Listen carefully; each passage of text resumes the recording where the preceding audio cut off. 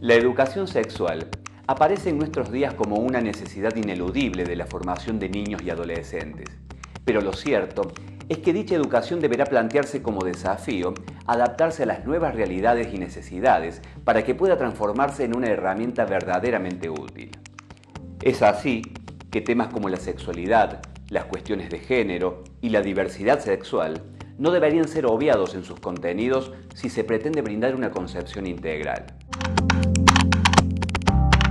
Hablemos de la sexualidad en general y de la sexualidad como construcción social. ¿Qué nos puedes decir al respecto? Quizás es uno de los campos donde más parece, o nos parece a todos, que hay algo de naturalidad absoluta. ¿no? Nos parece que los cuerpos son ya desde, desde toda la historia han estado configurados como hombres y mujeres tal como los, como, como los conocemos hoy. ¿no?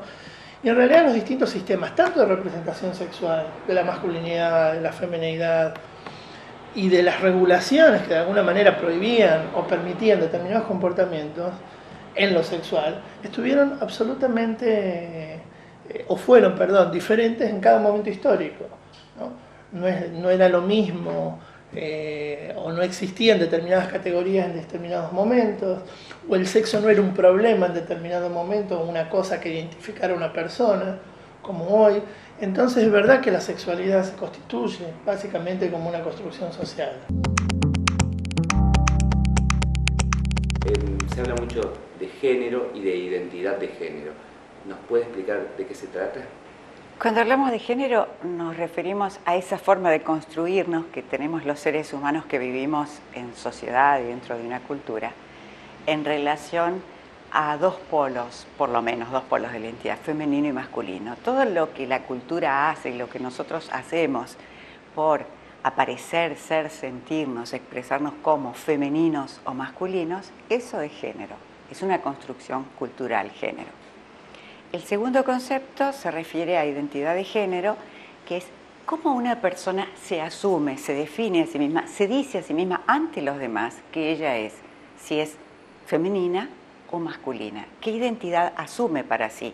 Para presentarse, para compartir, para sí misma mostrarse y hablarse de sí misma. Eso es identidad de género. Ya ahí estamos hablando de una elección.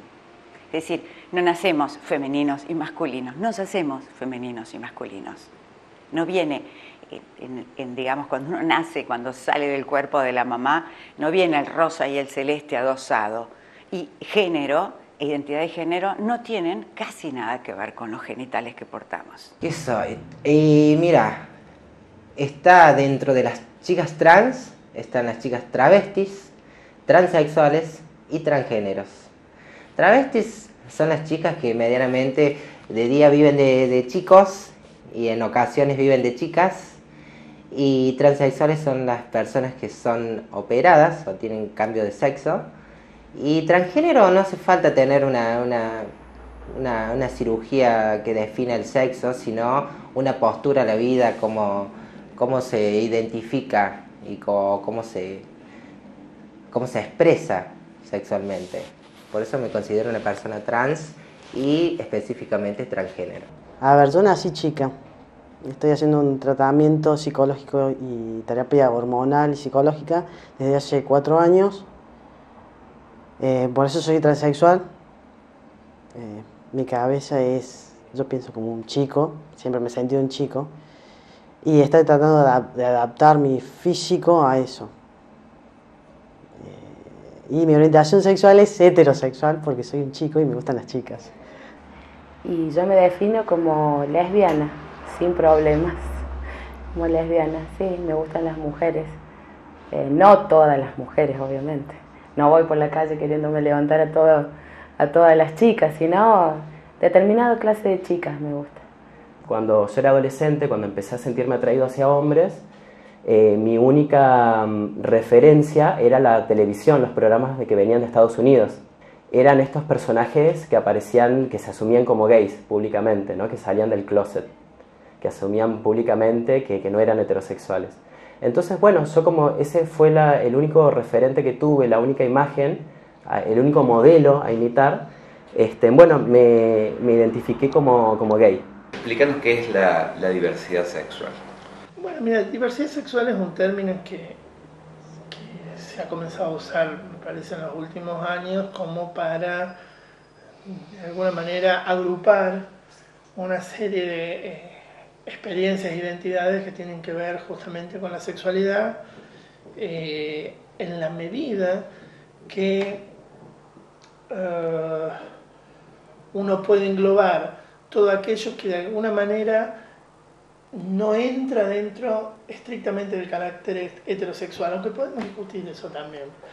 Entonces, em, ¿qué pasa? Uno diría, a lo hetero se opone lo homosexual, y la, categoría homosexual explotó hace tiempo, digamos. Eh, la homosexualidad fue como una categoría fuerte en un momento políticamente, pero después aparecieron eh, cierta fragmentación, ¿no? Dentro de su universo buscando una especificidad. Las lesbianas, dice que no tienen nada que ver con las travestis, ¿eh? las transexuales, los las intersexuales, eh, y hasta uno podría decir una serie de experiencias que también juegan dentro de la heterosexualidad o en las márgenes o en los bordes, ¿sí? y que son parte de esa diversidad.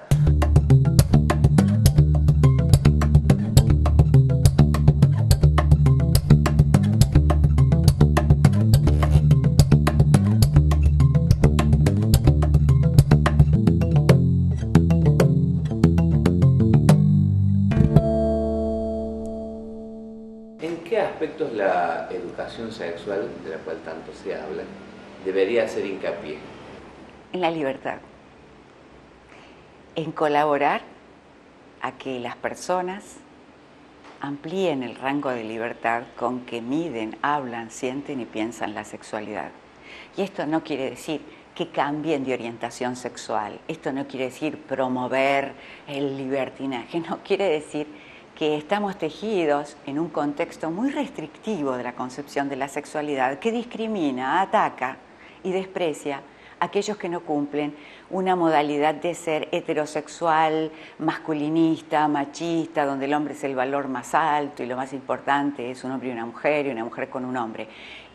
Mayor libertad en el sentido de poder aceptar, entender, conocer, integrar a aquellos que tienen elecciones sexuales, por ejemplo, homosexuales. ¿Pensás que debería incluirse dentro de la educación sexual estas temáticas vinculadas a la diversidad sexual, a las orientaciones sexuales? Me parece que sí, o sea, que es absolutamente necesario porque, a ver, desde algún punto de vista estaríamos negando la propia experiencia de los propios chicos, digamos. O sea, eh, un chico que va a ser, por ejemplo, homosexual, lesbiana, travesti o lo que fuera, no lo hace por contagio. ¿sí? Eh, y lo hace de padres heterosexuales y familias muy bien constituidas. Digo, tampoco tiene que ver eh, con de dónde sale. Eh, y precisamente una de las instancias de mayor conflictividad en cualquiera de estos, de estos de estos colectivos que yo nombré, son las instancias de la infancia y la adolescencia, donde se está definiendo la sexualidad y donde no hay posibilidad de contención. ¿no? Es decir, nadie eh, le puede dar de alguna manera algún, alguna respuesta, alguna orientación sobre qué le está pasando de repente, ¿no? y donde aparecen miles de traumas, conflictos. ¿No? que va a generar después problemas en esa persona probablemente. Digamos, lo va a tener que resolver muy solo. La escuela se retiró tanto de la sexualidad que el mismo problema lo tienen los chicos que se van a definir heterosexualmente, ¿no? No saben qué hacer, no, no tienen claras orientaciones sobre un montón de cosas. Eh, de todas maneras, cuidado, se desentiende, pero sigue siendo, fuerte, sigue siendo fuertemente reguladora, ¿no?